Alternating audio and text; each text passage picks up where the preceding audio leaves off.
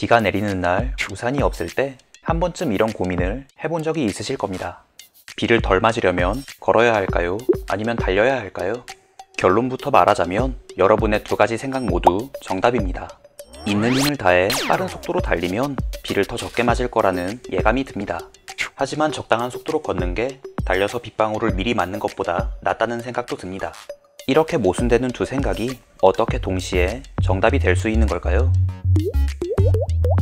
비를 가장 적게 맞는 최적의 속도를 이야기할 때 상황을 가장 단순하게 생각하는 방법은 비가 수직으로 내린다고 가정하는 것입니다.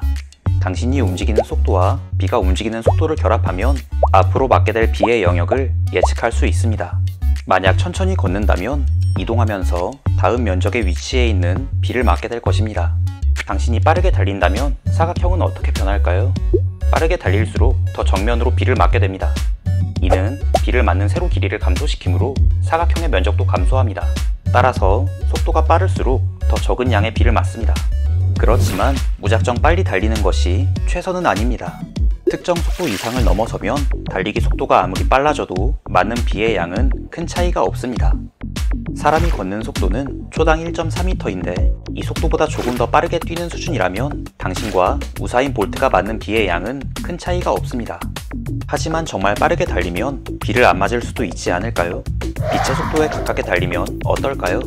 빛의 속도로 달리려면 먼저 빅맥을 2경계 먹어서 에너지를 비축해야 합니다. 이 양은 전 세계 인구를 2253년 동안 삼시세끼 빅맥으로 먹일 수 있는 양입니다.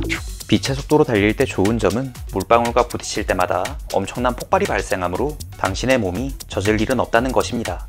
하지만 엄청난 마찰열로 인해 온전한 상태로 목적지에 도착하는 것은 포기해야 합니다. 이러한 제약들을 무시하고 빛의 속도로 달릴 수 있다고 해도 비를 맞는 양은 직사각형의 면적으로 이미 정해져 있기 때문에 큰 의미는 없습니다. 현실에서 비는 절대 수직으로 내리지 않습니다. 이러한 사항을 고려해야만 질문에 관한 올바른 대답을 할 수 있습니다. 비가 당신의 얼굴 쪽으로 내릴 때는 수직으로 비가 내릴 때와 비슷한 상황입니다. 비의 가로 방향 속도와 당신의 속도를 결합하면 마찬가지로 사각형의 넓이를 이용해 맞게 될 비의 총량을 구할 수 있습니다. 따라서 앞선 결론과 동일하게 빨리 달릴수록 비를 덜 맞게 됩니다. 우리가 고민해야 하는 상황은 당신의 뒤에서 비가 내릴 때입니다. 수학자들은 비가 당신의 뒤에서 내리고 있을 때는 빨리 달리는 것이 최선이 아니라고 말합니다. 9.5도 이상의 각도로 뒤에서 비가 내리는 경우에는 비의 수평 속도에 맞춰 달리는 것이 비를 가장 적게 맞는 방법이라고 한 수학자가 논증한 바 있습니다. 이보다 더 빠르게 달린다면 당신은 오히려 비를 더 많이 맞게 됩니다. 따라서 빠르게 달릴수록 좋다는 기존의 정보들은 조건을 지나치게 단순화하여 잘못된 결론을 내린 것이라고 말할 수 있습니다. 이렇게 결론 내리고 영상을 마치면 저 또한 잘못된 정보를 전달하는 것입니다. 만약 몸을 기울여 비스듬한 형태로 달릴 경우에는 비가 앞에서 내릴 때에도 최적의 속도가 존재할 수 있습니다. 또한 몸통과 머리의 면적 비율, 몸통의 형태뿐 아니라 측면에서 불어오는 비의 속도에 따라서도 최적의 달리기 속도는 달라집니다. 하지만 이런 것들까지 고려하기엔 현실적으로 어렵기 때문에 비가 앞에서 내릴 때는 무리하지 않는 선에서 빠른 속도로 달리고 비가 뒤에서 내릴 때는 비의 속도에 맞춰서 달리면 된다는 사실을 기억하면 될 것 같습니다. 준비한 내용은 여기까지입니다.